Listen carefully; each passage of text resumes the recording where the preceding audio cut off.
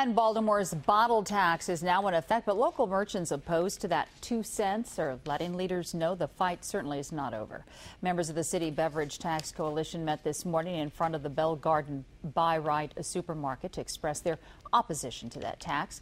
As you know, the tax passed at a rate of two cents per bottle instead of four.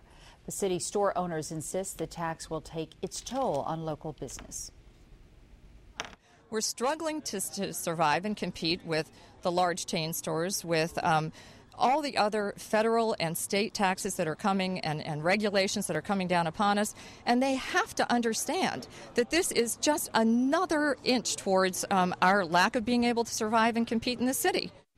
Those opposed to the tax say it won't only cost businesses money, but the city jobs as well.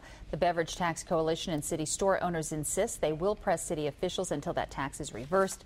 It is set to expire in three years. City officials say the two cents is not a direct tax on consumers who can buy bottled or canned soda, water, wine, beer, and liquor.